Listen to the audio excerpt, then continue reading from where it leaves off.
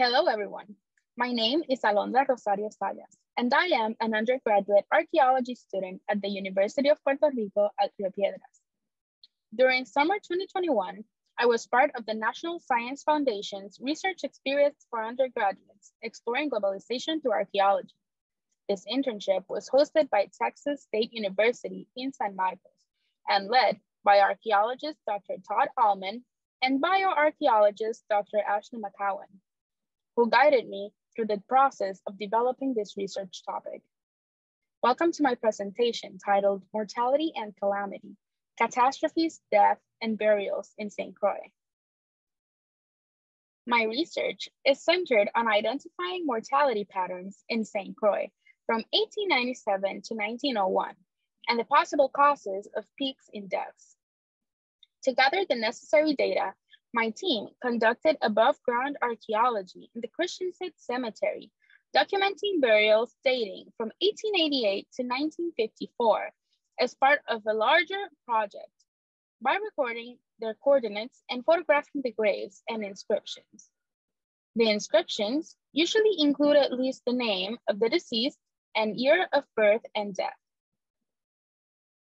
I also transcribed the death and burial notices for the Christiansted Cemetery, published in the St. Croix Avis newspaper throughout my time frame.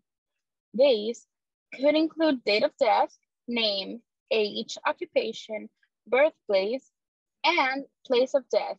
But this last one was usually when it, it was a death in an estate, a hospital, or a prison. Using both sources, I gathered a simple a sample size of 1,629 deceased individuals. 1,626 from the death notices and three from the cemetery, although 12 of the individuals mentioned in the death notices were found in the cemetery. From the 1,629 individuals, 163 had no age available and there was no way to estimate it from the information provided in the newspaper or the burial, resulting in a final sample of 1,466 individuals when age is necessary. With the data gathered, I created several charts, starting with this one, which shows deaths by month through the five-year time frame selected. This chart allows us to visualize the mortality patterns and identify peaks in deaths. As you can see, I will focus on three peaks. March 1898, October, November 1899, and July, August 1900. First, I will discuss the October-November 1899 peak. That red line marks the passing of the San Ciriaco hurricane through the Caribbean. While the months directly following the hurricane do not reflect the spike, October and November 1899 show a significant increase in deaths. Before I continue to explain the consequences of hurricanes, I want to show you San Ciriaco's trajectory and how close it passed to St. Croix. The red arrow points to the approximate location of the island, According to NOAA, the hurricane went over Frederiksted, the second largest town in St. Croix, located in the west side of the island.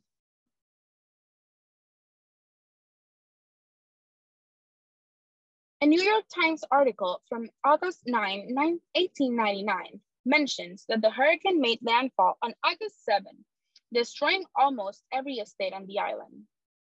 It also says that the buildings were unroofed, stock was killed, and 11 laborers were killed.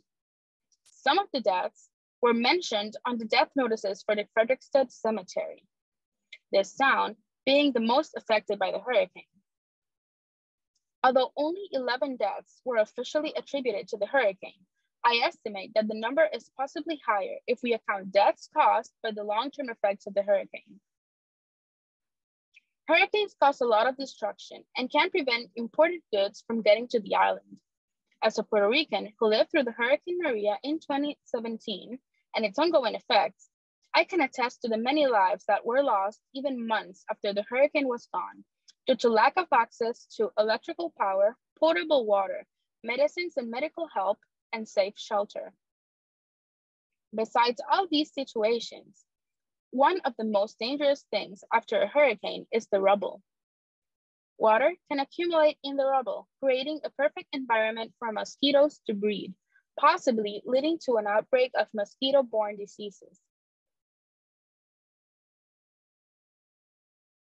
Mosquito-borne diseases are those spread through mosquitoes, as the name suggests.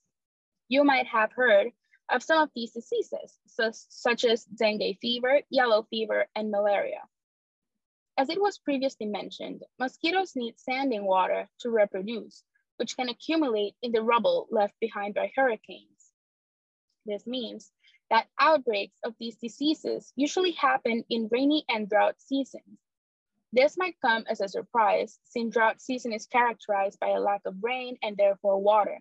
But when people store water for the drought season, if it is not sealed properly, mosquitoes may use it as a breeding ground.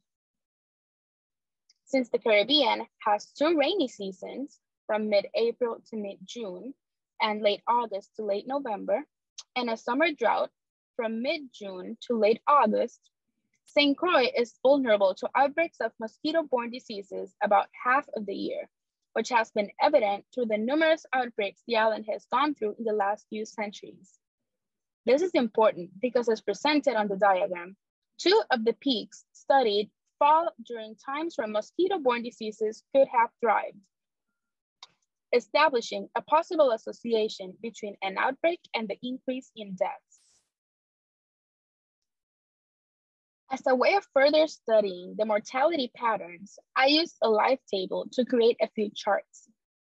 Life tables are commonly used in bioarchaeology to research paleodemography, which is the study of the demography of ancient populations, while their use with skeletal remains is a bit controversial, the results with data gathered from historical sources and gravestones are much more accurate. We see that men and women died at a similar rate. To calculate this, I estimated gender from societal norms associated with specific naming conventions when gender was not specified or evident from titles such as Miss or Mr. The other three charts are the results of the life table, which show proportion of deaths, survivorship, and life expectancy. The proportion of deaths show that almost 25% of deaths belong to the infants, less than a year old. However, there is a notable decrease in deaths in children between 5 and 19 years old. This means that if a child survived their first year of life, their chances of dying decrease significantly even more so if they live to five years old. Survivorship presents the odd of an individual surviving a certain age. This chart shows a plateau between individuals 5 to 24 years old, meaning that their chances of dying during those ages were lower.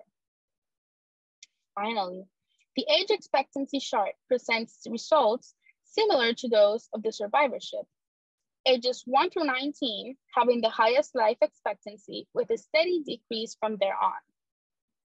In general, the main aspect these charts demonstrate is that from 1897 to 1901, Christiansted had high infant, infant mortality rates.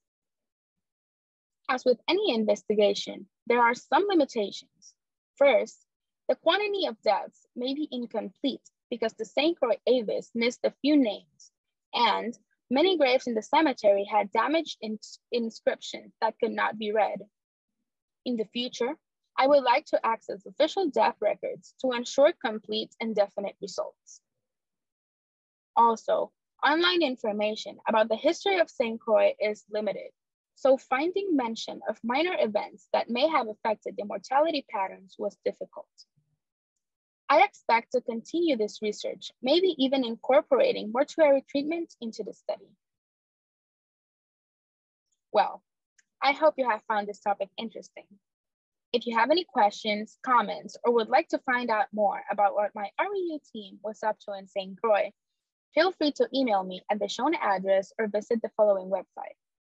Thank you for listening and make sure to check out the other projects my peers have worked on by visiting the Society for Historical Archaeology's YouTube site. Have a nice day.